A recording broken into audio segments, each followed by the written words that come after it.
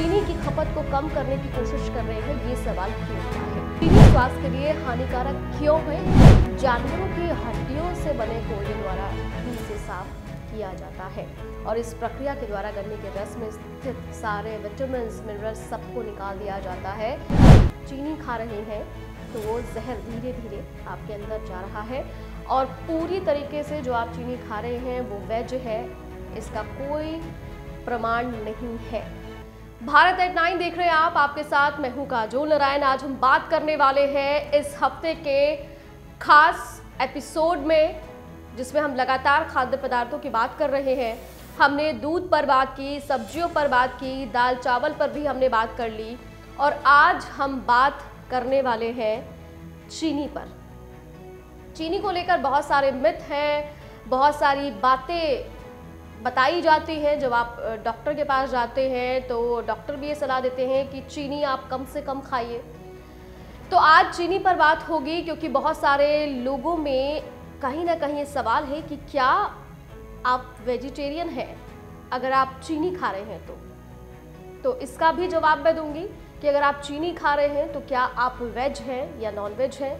और अगर आप चीनी उपवासों में, यानी कि जो व्रत रखे जाते हैं, उसमें इस्तेमाल कर रहे हैं तो ये कितना सही है। सबसे पहले बात कर लेते हैं उत्पादन की। तो भारत विश्व में चीनी का सबसे बड़ा उत्पादक और दूसरा सबसे बड़ा निर्यातक बन गया है। देश में 2021 से 2022 में चीनी के मौसम के दौरान 5 लाख मीट्रिक टन से ज़्यादा गन्ने का उत्पादन हुआ है।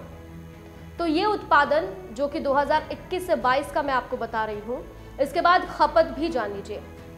खपत साल 2018 से 2019 में जहाँ 275 लाख टन चीनी की खपत थी तो वहीं 2021 से 2022 में ये 290 लाख टन पहुँच गई है।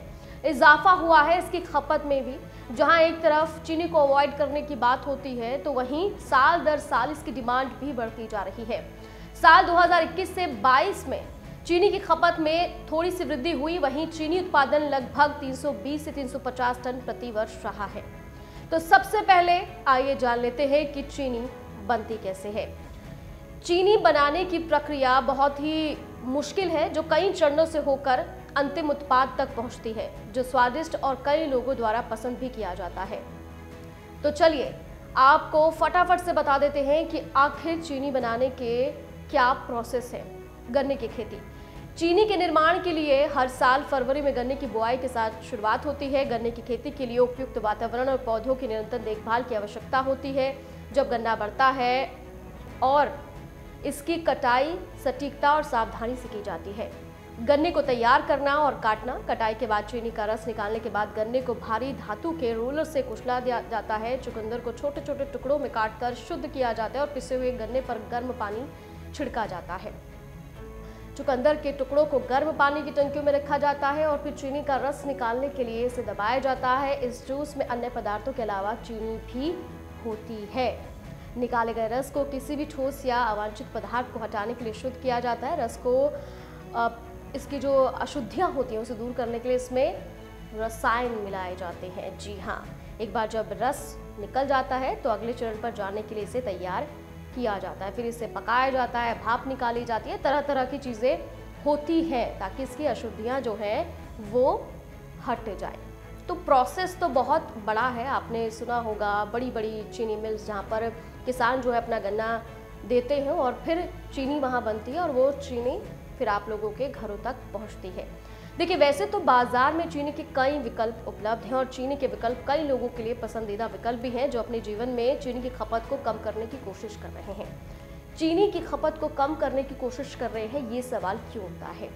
क्योंकि चीनी में कई तरह के केमिकल्स मिलते हैं और इसके बाद ये भी कहा जाता है कि कई बार इसमें जानवरों की हड्डी भी मिलाई जाती है, जिससे इसका रंग सफ़ेद होता है और वो पॉलिश्ड क्रिस्टल की तरह नज़र आती है।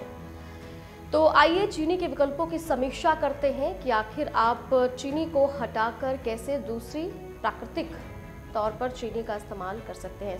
स्वीटिवा पत्तों, पौधों की पत्तों से प्राप्त होता है। चीनी का एक विकल्प है क्योंकि इसमें कैलोरी कम होती है और इसमें रक्त शर्करा के स्तर पर कोई प्रभाव नहीं पड़ता है। यानी कि डायबिटीज़ होने का डर नहीं रहता है। अक्सर इसे मिठाइयाँ और विभिन्न खाद्य पदार्थों को मीठा करने के लिए इस्तेमाल किया जाता है। खजूर भी इसका एक विकल्प हो सकता है।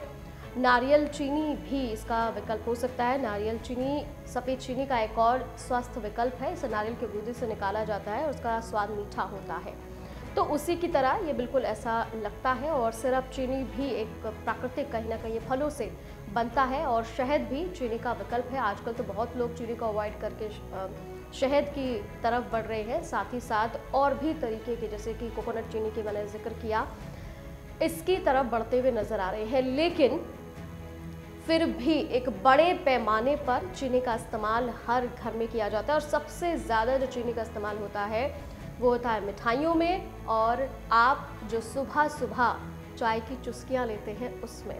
अब तो बहुत लोग शुगर फ्री की तरफ़ बढ़ रहे हैं और मीठा चीनी कम करने वाली और बिना चीनी वाली कहीं ना कहीं चाय पी रहे हैं। लेकिन अगर आप अभी भी गाँव देहातों में जाएँगे, कस्बों में जाएँगे तो वहाँ पर चीनी का इस्तेमाल धड़ल्ले से किया जाता है। एक ज़माना था जब चीनी जो है वो बहुत कम लोगों को उपलब्ध हो पाती थी और कहीं ना कहीं कहा जा सकता है कि रस, जो रईस लोग होते थे, वो चीनी का इस्तेमाल करते थे। लेकिन इसका उत्पादन इतना ज़्यादा और इसकी डिमांड इतनी ज़्यादा बढ़ गई कि आज चीनी के बिना शायद ही किसी का जो किचन है वो कहीं ना कहीं अधूरी होती है। लेकिन चीनी स्वास्थ्य के लिए हानिकारक क्यों है, ये जानना बहुत ज़्यादा ज़रूरी है। सबसे पहली बात, वज़न बढ़ता है।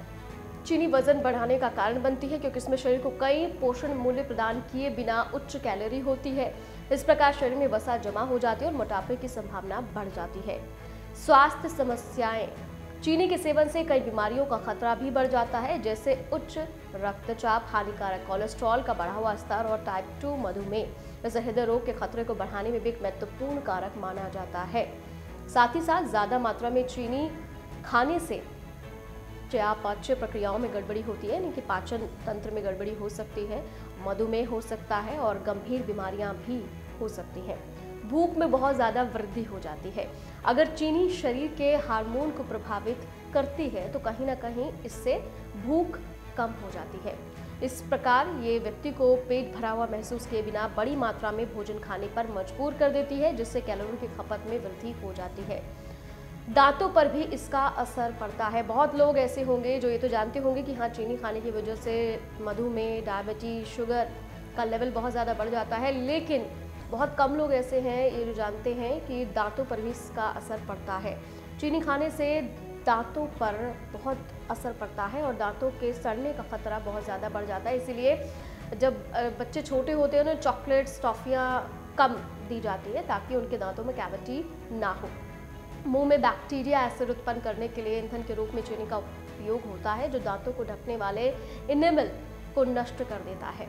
मूड पर भी बहुत ज़्यादा असर पड़ता है। जी हाँ चीनी एक ऐसी चीज़ है, ऐसा पदार्थ है जिससे आपके मूड पर भी बहुत ज़्यादा असर पड़ता है।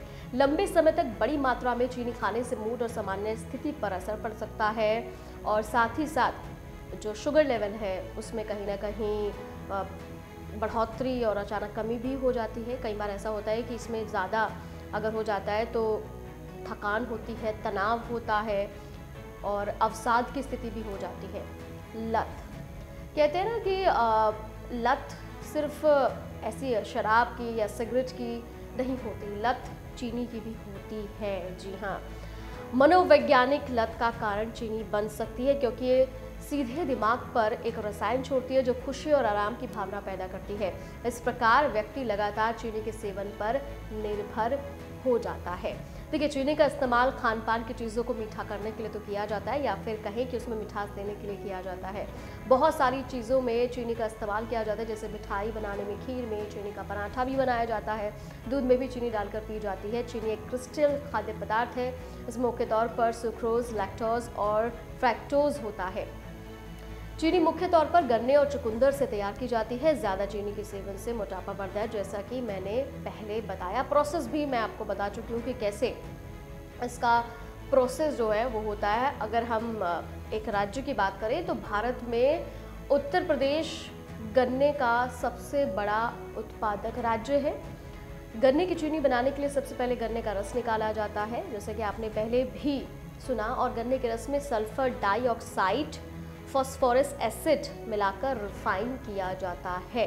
तो ये एक सही सही प्रोसेस है और कहीं ना कहीं जिसका ज़िक्र मैं कर रही थी कि अगर आप चीनी खाते हैं तो क्या आप वेजिटेरियन हैं? तो अब जवाब सुन लीजिए। देखिए, जब चीनी बनती है, क्योंकि गन्ने का रस जब निकलता है, पकता है तो फिर उसका रंग जो होता है वो भूरे रंग का होता है। अब इसको साफ़ करने के लिए कई बार कई चीनी मिल्स में तो रिफाइन किया जाता है इसे, जैसा कि बताया मैंने कि सल्फ़र डाइऑक्साइड, फॉस्फोरस एसिड ये मिलाया जाता है जिससे वो रिफाइन हो सके। लेकिन कई बार ऐसा होता है कि जानवरों की हड्डियों से बने कोयले द्वारा भी इसे साफ़ किया जाता है और इस प्रक्रिया के द्वारा गन्ने के रस में स्थित सारे विटामिन मिनरल्स सबको निकाल दिया जाता है। वही अब इस चीनी में केवल ग्लूकोज ही बचता है। चीनी के केमिकल नाम को अगर हम देखें तो C one two H two O H है। और हमारे शरीर के लिए चीनी ज़रूरी भी है। जी हाँ वर्ल्ड हेल्थ ऑर्गेनाइजेशन के मुताबिक एक शख्स को एक दिन में छः से सात चम्मच चीनी का इस्तेमाल करना चाहिए। इसका मतलब एक दिन में 25 से 30 ग्राम ही चीनी खानी चाहिए। शरीर को चलाने के लिए ताकत की ज़रूरत होती है, जो कोशिकाएँ रक्त से ग्लूकोज यानी कि शक्कर लेकर ऊर्जा प्राप्त करती है। इस प्रकार से शक्कर शरीर के लिए ज़रूरी होती है। बता दें कि खून में मौजूदा शुगर काम आती रहती है और खून में शक्कर की मात्रा नियंत्रित बनी रहती है। इस तरह से ग्लूकोज की तरह ली जाने वाली शक्कर की कम मात्रा नुकसानदेह नहीं होती है। चीनी खाना कितना नुकसानदेह हो सकता है। आसान भाषा में समझिए तो चीनी खाना हमारे खून को काफ़ी गाढ़ा बना देता है और खून गाढ़ा होने की वजह से हमारे शरीर के कई भागों में पहुँच नहीं पाता, जिसकी वजह से दांतों और हड्डियों में कई तरह के रोग पैदा होते हैं। खून में चीनी की मात्रा सामान्य से ज़्यादा होने पर ग्लूकोज कोशिकाओं के प्रोटीन से चिपककर कोशिकाओं की क्रियाओं को बिगाड़ देता है, जिसके कारण गुर्दे की बीमारियाँ, आँखों के रोग और शरीर के अंगों को काटने तक की नौबत आ जाती है। खून में चीनी की मात्रा सामान्य से ज़्यादा होने पर जब कोशिकाएँ मरती हैं तो कोशिकाओं के डीएनए और आरएनए का रूपांतरण यूरिनस में हो जाता है। यूरिन से यूरिक एसिड उत्पन्न होता है। तो आप सोचिए कितना खतरनाक हो सकता है ये, अगर ये हाई लेवल पर जाता है। ये यूरिक एसिड निट्रिक ऑक्साइड को घटाकर बढ़ा देता है। इस वजह से रक्त नालिकाओं के स्मूथ मसल सेल्स सिकुड़ जाते हैं और रक्तचाप बढ़ जाता है।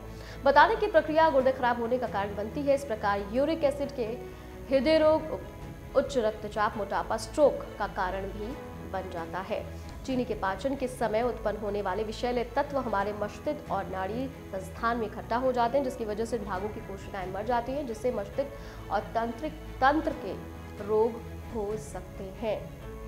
तो अक्सर ये कहा जाता है कि चीनी सेहत के लिए फ़ायदेमंद नहीं होती है, इसको खाने के शरीर को कई तरह के नुकसान झेलने पड़ते हैं।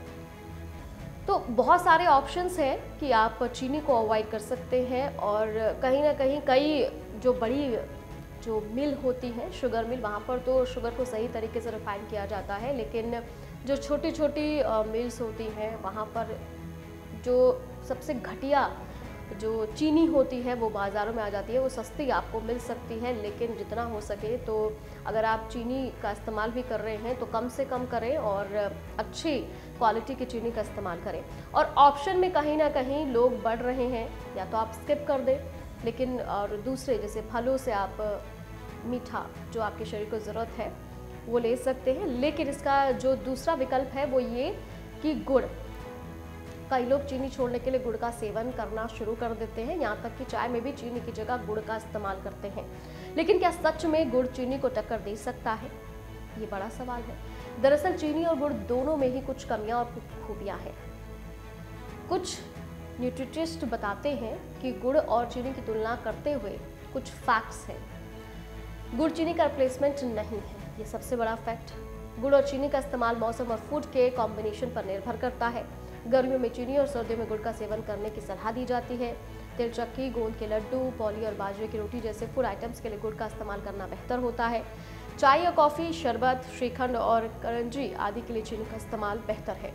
घर पर समय के मुताबिक चीनी और गुड़ दोनों का इस्तेमाल करें। गुड़ के फ़ायदे चीनी से ज़्यादा है। गुड़ और चीनी दोनों का सोर्स ही गन्ने का रस है। बस फ़र्क सिर्फ़ इतना है कि इन दोनों की प्रोसेसिंग अलग है।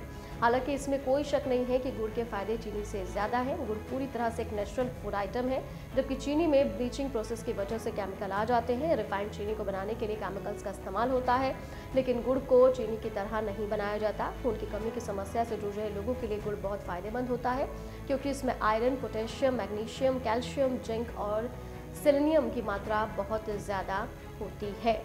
गुड़ का स्लो ऑब्जर्शन ब्लड शुगर के लेवल को बैलेंस कर देता है, जबकि चीनी तेज़ी से ऑब्ज़र्व हो जाती है और ब्लड शुगर के लेवल को बढ़ा देती है। चीनी सिर्फ़ खोखला एक कैलोरी है, जबकि गुड़ में विटामिन मिनरल्स और एंटीऑक्सीडेंट्स जैसे तत्व हैं जो हेल्थ और इम्यूनिटी के लिए बेहतर माने जाते हैं। आयुर्वेद में भी गुड़ में एंटी एलर्जिक गुण बताए हैं। ये अस्थमा के साथ साथ सर्दी, खांसी और छाती में जमाव जैसे सांस संबंधी समस्या के इलाज में मदद करते हैं। तो आप सोचिए कि अगर आप चीनी खा रहे हैं तो वो जहर धीरे धीरे आपके अंदर जा रहा है और पूरी तरीके से जो आप चीनी खा रहे हैं, वो वेज है, इसका कोई प्रमाण नहीं है। तो जब भी आप ये कह रहे हो कि आप वेजिटेरियन हैं तो हो सकता है कि जो आप चीनी का इस्तेमाल कर रहे हो, वो बोन पाउडर से बन रही हो, उसका इस्तेमाल इसमें हो रहा हो। ये ज़रूरी नहीं है कि वो सिर्फ़ केमिकल प्रोसेस से ही गुजरी हो। ये प्रोसेस भी काफ़ी ज़्यादा चलन में है। तो किसे चुनना ज़्यादा बेहतर होगा?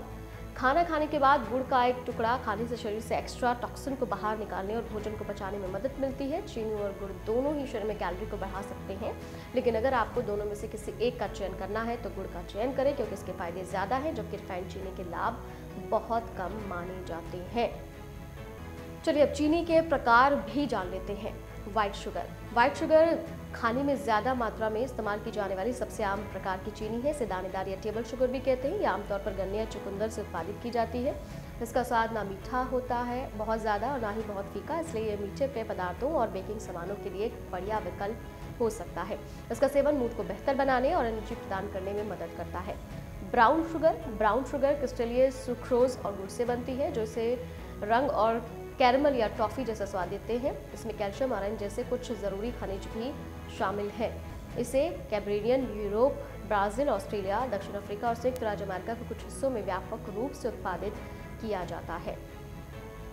गन्ने की चीनी, जो आप लोगों के हमारे घरों में इस्तेमाल होती है। नियमित सफ़ेद चीनी की तुलना में गन्ने के रस से बनी चीनी बहुत सारे पोषक तत्वों से भरपूर होती है। इसके लिए गन्ने को काटकर इसका रस निकाला जाता है और इसके बाद गुड़ मिलाकर इसे क्रिस्टलाइज किया जाता है। पानी में घुलनशील ये चीनी आमतौर पर पके हुए सामानों में गार्निश के रूप में इस्तेमाल होती है। मास्को वादो शुगर मास्को वादो शुगर नियमित चीनी की तुलना में कम रिफाइंड होती है। इसमें प्राकृतिक गुड़ होता है। डार्क और लाइट वैरायटी में उपलब्ध मास्को वादो शुगर में कॉफ़ी जैसा स्वाद आता है। कोकोनट शुगर कोकोनट शुगर पौधे पर आधारित प्राकृतिक स्वीटनर है, जो नारियल के फूलों के रस से बनाई जाती है। इसमें बारीक दाने और अच्छा कैरमल स्वाद होता है। तो ये है चीनी के प्रकार। अब जैसा कि सब्ज़ियाँ भी आजकल नकली आ रही हैं, दूध में भी मिलावट हो रही है। दाल चावल का भी मैंने ज़िक्र किया था, किस तरीके से नकली चावल, प्लास्टिक के चावल, पॉलिश दाल आपको मिल रही है तो चीनी भी नकली आपको मिल रही है।